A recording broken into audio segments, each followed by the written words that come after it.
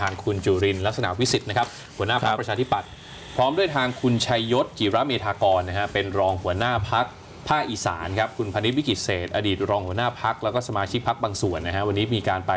เอ่อสักการะพระแม่ธรณีบีบมวยผมนะครับครับสิ่งศักดิ์สิทธิ์สัญลักษณ์ประจำพักประชาธิปัตย์หลังจากที่คุณจุรินทร์ได้รับเลือกเป็นหัวหน้าพัก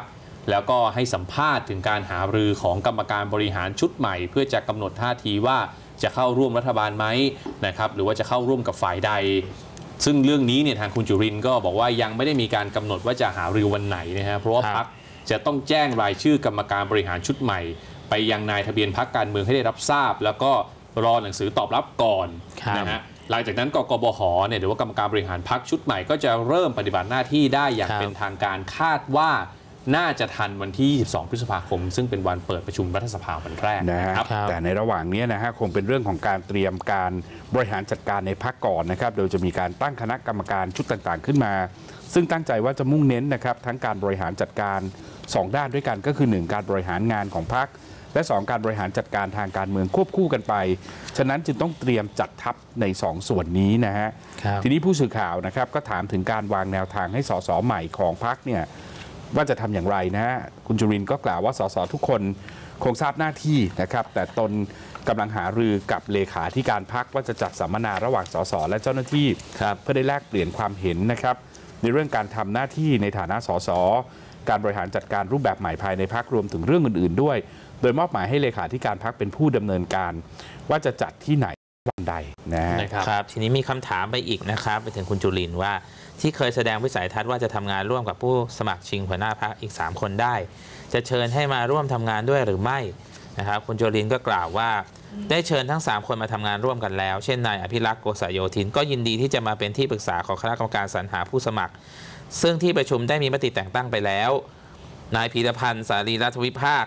และนายกรจาติกาวนิชก็มั่นใจนะครับ คุณจุลินทร์มั่นใจว่าจะได้รับความร่วมมือนะครับ ซึ่งกำลังดูว่าจะมาช่วยในส่วนไหน ซึ่งจะมีส่วนสำคัญในการช่วยขับเคลื่อนพักให้เดินหน้าต่อไป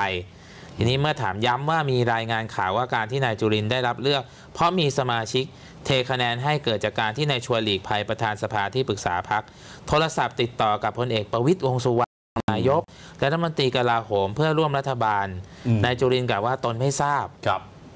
ซึ่งความจริงการเลือกหัวหน้าพักครั้งนี้พูดกันชัดเจนแล้วว่าให้แยกแยะระหว่างการตัดสินใจทางการเมืองจะไปร่วมรัฐบาล หรือจะเป็นอะไรก็แล้วแต่กับการเลือกหัวหน้าพักซึ่งก็ชัดเจนอยู่แล้วว่าเมื่อวันที่ 15 พฤษภาเป็นการเลือกหัวหน้ากับกรรมการบริหารที่จะมาทำหน้าที่ต่อไป ส่วนเรื่องทิศทางการเมืองถือเป็นอีกประเด็นหนึ่งซึ่งมีความชัดเจนอยู่ในตัวแล้วชัดเจนอายังไงฮะโอ้โหชัดเจนชาววิโรจน์ใจว่าเย็นชัดเจนว่าจะซัดทำตาโตมมเลย ชัดเจนว่าเออจะทำตามแบบคุณอภิสิทธิ์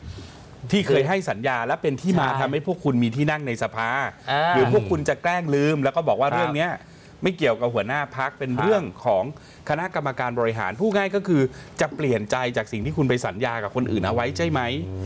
ฟังคุณแล้วอภิงสิทงธิ์ยังไม่ตายนะ แค่ไปเลี้ยงแมว เอออย่าเพิ่งลืมคุณอภิสิทธิ์ ครับใช่ไหมนะไปพูดอะไรไว้อะ ไม่แต่นี่ก็กรรมการบริหารพรรคชุดใหม่แล้วไงฮะเขาก็ ไม่ได้ไงคุณน้องกายไม่ได้ก็ว่า คุณเลือกตั้งไปแล้วอะคุณครับไปสัญญาอะไรกับใช่เขาไว้ครับโอเค แต่ถ้าคุณไม่อยากได้เสียงของ 3.9 ล้านเสียงที่เขา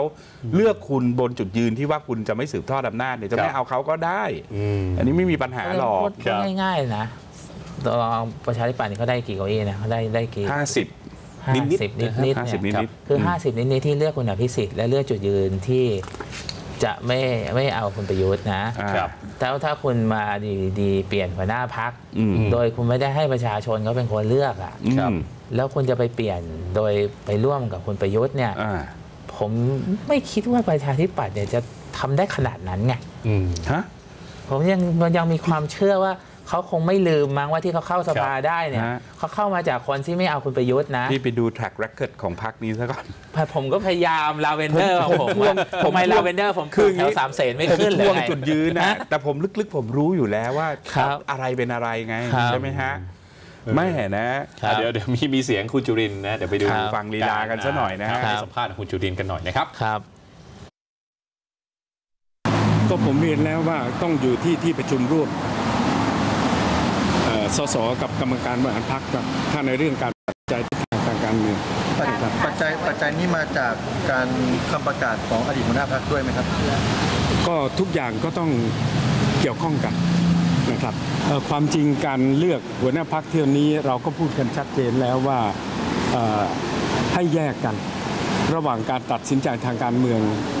จะไปเป็นรัฐบาลหรือจะไปเป็นอะไรก็ตามในอนาคตกับการเลือกหัวหน้าพัก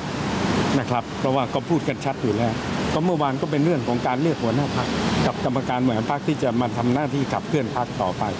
ส่วนในเรื่องทิศทางทางการเมืองนั่นก็เป็นอีกประเด็นหนึงนะครับ มันมีความชัดเจนในตัวของมันอยู่แล้วอาจารย์พิษคิดว่าประชาธิปัตย์จะเปลี่ยนได้ไหมเนี่ยได้คุณจุรินทร์มาแล้วเนี่ยคือให้สัมผมภาษณ์มายืดยาวอ่านไปประมาณสองหน้าเนี่ยนะฮะเรื่องของเรื่องเนี่ย